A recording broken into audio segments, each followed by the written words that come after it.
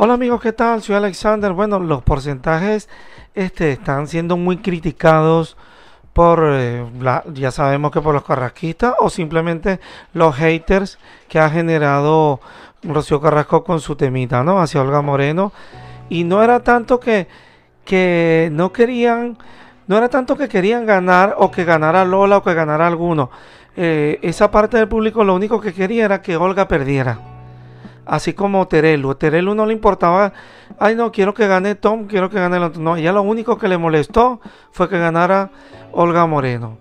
Y entonces, como no ganaron los que ellos querían, pues es tongo. Si hubiesen ganado, no pasa nada, no hay tongo, ¿no? Entonces los concursantes están machacando a la organización de supervivientes por el, supuesto escándalo. ¿Ustedes creen que si si, van a hacer un tongo, van a poner los porcentajes tan eh, separados unos de otros. O sea, de 65, 61,17 de Olga contra, ya, contra Gianmarco, que solo sacó un 38,83, por ejemplo. Una diferencia casi de 30. O sea, no van a ser tontos los de, los de la productora para hacer un tongo de esa manera. Lo harían más cerca, ¿no? Lo harían 61 a, tal lo más cerca posible.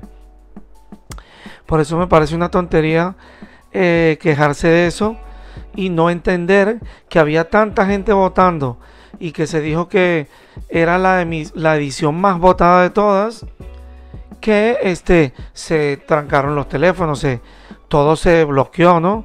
Por momentos. Y Melissa se consideraba que ella era la que tenía que ganar. Yo estoy seguro que Gianmarco también pensaba, si no fuera por la trampa yo hubiera ganado. Él jura que iba a ganar. Y yo digo que no iba a ganar. Porque el problema de la final de Superviviente 2021 y de la victoria de Olga Moreno no es si los porcentajes fueron manipulados o no. O de si los ha firmado un notario o los ha dejado de firmar. El problema de la final de Supervivientes, como la misma Melissa Pinto expresó, sin reparo porque es una malcriada, fue que los votos no se pudieron contabilizar. A lo que se refería ella es a que desde el viernes se llevan refiriendo eh, algunas eh, denuncias, ¿no? Porque muchos espectadores tratan de votar y no dan votado, no pueden votar, se, no se entregaba el mensaje, pero ya eso se aclaró, ya se dijo que era por que las líneas estaban saturadas. A lo que yo tengo que llegar a una conclusión que tanto Lola, Melissa y Marco son unos reventados. Así de claro. No saben perder y si hubiesen ganado ellos sí estarían diciendo que no hubo trampa. Por tanto, es este mm, deplorable que piensen de esa manera y son unos malos perdedores. O sea, es tongo. Y es como dice en el Twitter, y es lo que pensamos mucho, ¿no? Marina Snal puso un tweet muy interesante que dice, parece que Olga tenga que pedir perdón por ganar. Le hacen sentir mal hasta por ser querida. Lo peor es que se muestra incómoda y no sabe ni dónde meterse. Cuando la noche de hoy, o sea, de ayer, tendría que ser especial y sobre todo para ella. O sea, en vez de estar allí celebrando todos, lo que estaban era con una cara de mala uva, eh, todos reventados, en vez de estar de fiesta, porque todos cobraron. Ahí nadie se fue sin cobrar. Todos cobraban este, semanalmente algo y, dinero acumulado llevan.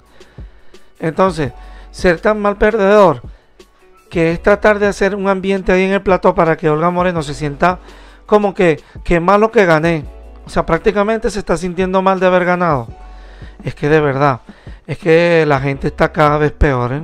Llegar al punto de, por ejemplo, Tom Bruce estar con mala cara buscando atacar a Olga. O sea, están. De verdad que estoy súper decepcionado, sobre todo de Lola y de Tom. Bueno, de los tres, de los cuatro: Lola, Tom, Melissa y Marco. Súper decepcionado porque han demostrado mucha falsedad. Gianmarco es un tipo muy. Ha demostrado ser todo lo contrario de lo que él vendió. Eh, ha demostrado ser, por ejemplo, muy rencoroso sin motivo este, él también robaba cocos, ya lo, ya lo delataron, ¿entiendes? Y son gente que no, no están siendo limpias, son un poco sucias, si lo digo sinceramente. Y es lo que pensamos muchos. Tener que hacer sentir mal a una persona porque ganó es que es flipante. Y es así, amigos. Bueno, lo vamos dejando hasta aquí porque hoy voy a hacer un directo con Sandra para estar hablando con vosotros de este tema, de, ese debate feísimo de ayer. El feo debate se va a llamar.